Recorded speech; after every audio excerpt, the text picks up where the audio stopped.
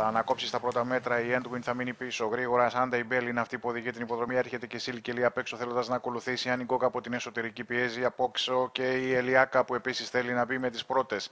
Θα συγκαλπάσουν η Σάντα Μπέλ από την εσωτερική και η Σίλκελη απ' έξω. Στη συνέχεια βελτιώνεται η Ελιάκα, περνά στην τρίτη θέση.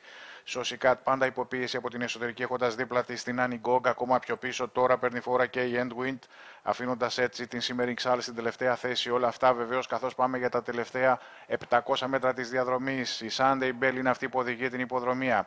Σταθερά στην δεύτερη θέση η Σίλκελη από την εσωτερική ισόση. Κάτω απ' έξω συνεχώς η Ελιάκα. Ακόμα πιο πίσω η Άννη Γκόκ αλλά και η Endwind αρκετά έξω. Πάμε για την τελική ευθεία. Η Sunday Bell με πολύ ωραίο βήμα μπαίνει πρώτη και θέλει πλέον να ξεφύγει από την καταδίωξη της Σίλκελη, εκ των οποίων από πίσω ακριβώς βλέπουμε την σώση κάτω από την εσωτερική που κάτι προσπαθεί να κάνει. Πιο πίσω η Λιάκα, αλλά δεν φαίνονται ικανές να την απειλήσουν. Αντίθετα, προσπαθεί η Endwind που έχει κουραστεί αρκετά, τρέχοντας βέβαια πολύ ανοιχτά, θέλοντας να διεκδικεί στην δεύτερη θέση πλέον καθώς έχουν ξεφύγει.